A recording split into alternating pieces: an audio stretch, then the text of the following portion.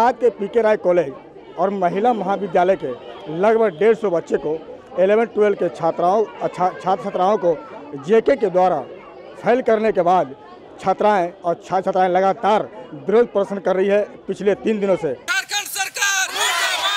हमारी मांगे!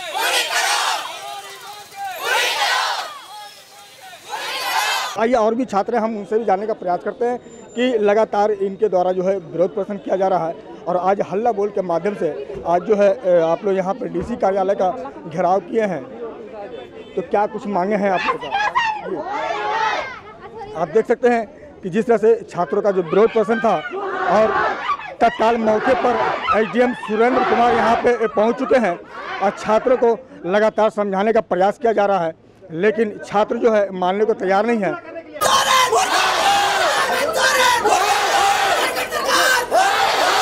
और अभी आप देख रहे हैं कि छात्र छात्राएँ जो है, यहाँ पे रैली के माध्यम से हल्ला हल्ला बोल एक रैली निकाली गई और उस रैली के माध्यम से जो है आज डीसी कार्यालय का घेराव किया गया।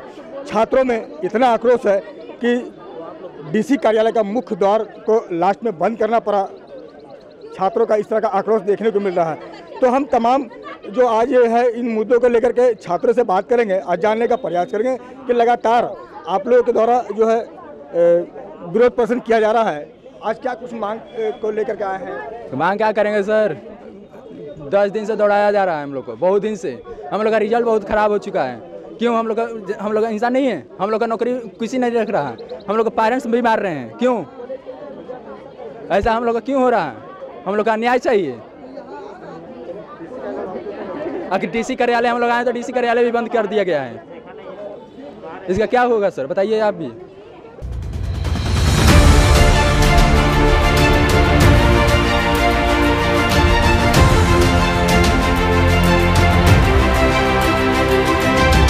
आइए, इस संबंध में हम एच डी सुरेंद्र कुमार से बात करते हैं कि आज जानते हैं कि आज छात्राएँ यहाँ पे डीसी कार्यालय का घेराव किए हैं और क्या कुछ इनकी मांगे हैं और क्या कुछ आश्वासन दिया गया है? नहीं, मुझे जो यहाँ पे देखने को मिला, मिलने के लिए पाँच लोग आते हैं, पर अभी आप देख रहे होंगे हमारे मेन गेट पे लगभग सौ छात्र छात्राएँ आ गई थी। ठीक है, कुछ इनके जेनविन इशूज़ हैं कि कुछ लोगों को एग्जामिनेशन में फेल हो गए, इन लोग के रिज़ल्ट हैं तो वो सरकार देखेगी, हमारा जैक देखेगा जो रिज़ल्ट हुआ है। पर जो तरीका होता है, वो तरीके से इतर ये लोगों ने अपना रास्ता अपनाया था। कल तक ठीक था, चूँकि कल हमारी विधि व्यवस्था की थोड़ी सी गड़बड़ी, मैं खुद बाहर था, लेकिन आज जब हमारे डीसी कार्यालय में आके अगर इन लोग गेट उट जाम कर रहे हैं तो ये किसी तरह से सही नहीं है। हमने इनमें से पाँच प्रतिनिधि को चुन लिया। तरीका बता दिया है कि कैसे आप अपनी बातों को रखेंगे। सर के यहाँ से एक अपना मेमोरेंडम भेजिए, सरकार को, सरकार देख रही है। और सिर्फ़ धनबाद का ये मामला नहीं है, हर ज़िले में इस तरह की चीज़ें हुई हैं तो क्या हुई है वो अपना सरकार देखेगी। तो उस पर निर्णय लिया जाएगा। अभी इन लोगों का लंबा कैरियर है। अभी से सब इस तरह के आंदोलन में इनको नहीं आना जिससे विधि व्यवस्था या इन पर किसी तरह का चीज़ें आरोपित हो। तो हमने इनको बता दिया है। अब सारे बच्चे चले गए हैं। पाँच लोग हम लोग इन लोगों को तरीका बता के डीसी सर से मिलवा देते हैं और इनकी मेमोरेंडम जाएगी।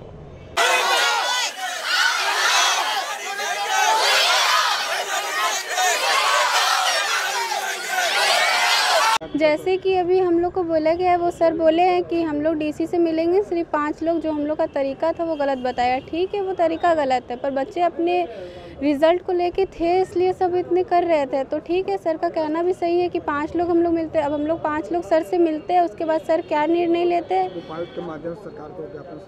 वो विज्ञाप वो तो अभी हम लोग लिखेंगे सर को तो फिर सर भेजते हैं वहाँ पे पर हम लोग के पास ज़्यादा वक्त नहीं है। सर से हम लोग बस इतना ही कहना चाहते हैं कि हम लोग को कम से कम वक्त में ये इस चीज़ का सॉल्यूशन निकाल के हम लोगों को दें। आज आप लोग को समझा के यहाँ पे जो है घेराव आप लोग नहीं हम लोग अभी भूख हड़ताल की मांग कर चुके हैं सर से और सर ने कहा है ठीक है आप लोग को जो भी करना है आप लोग कर सकते हैं। पर आप लोग यहाँ पहले सर से एक बार बात कर लेते उसके बाद जो भी निर्णय होगा फिर देखते हैं हम लोग।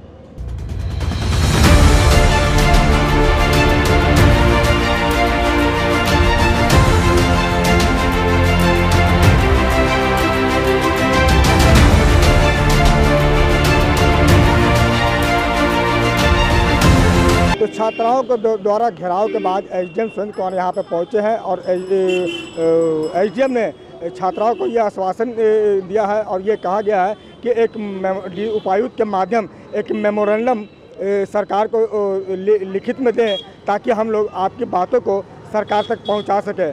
और इन आश्वासन के बाद अभी छात्रा यहाँ से अपनी हड़ताल समाप्त करके धनबाद के रणधीर वर्मा चौक पर भूख हड़ताल पे बैठने का मूड में हैं। तो आइए कुछ कुछ छात्राएँ हैं हम उनसे बात करते हैं और जानते हैं कि लगातार उनके द्वारा विरोध प्रदर्शन किया जा रहा है और अभी क्या कुछ आश्वासन मिला है एच के द्वारा। जी आप लोग में से कोई बताएँ क्या कुछ आश्वासन मिला है अभी? अभी तो वहाँ वो बुलाए हैं अंदर अब देखिए पाँच जन को बुलाए अब क्या होता है वो तो बाहर आने के बाद ही पता चलेगा। क्या मांग था आप लोग का? हम लोग का मांग यही था कि जितने बच्चों को यहाँ फेल किया गया है, बस उन्हें पास कर दिया जाए, नहीं तो फिर जितने सारे बच्चे हैं, जैक के सबको फिर से फेल किया जाए और सबसे एग्ज़ाम लिया जाए।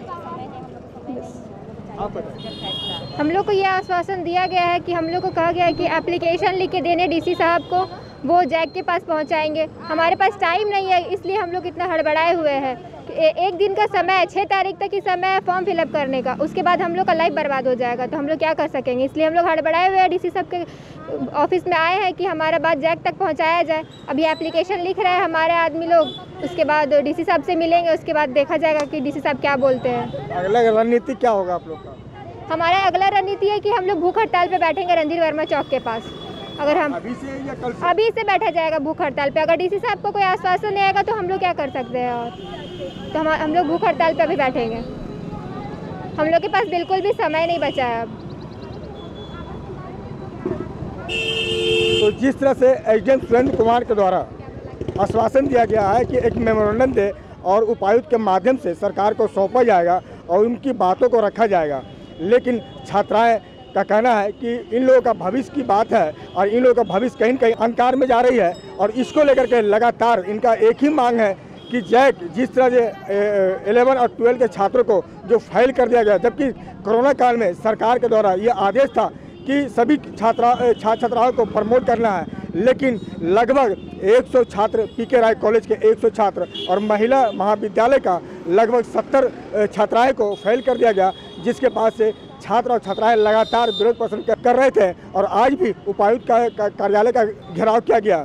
और आज एच डी सुरेंद्र कुमार के समझाने आश्वासन के बाद फिर भी जो है छात्राओं में काफ़ी आक्रोश है और उनका कहना है कि जल्द से जल्द उनकी मांगों को नहीं मानी गई या तो उनको पास नहीं किया गया या उनकी फिर से पुनः परीक्षा नहीं ली गई।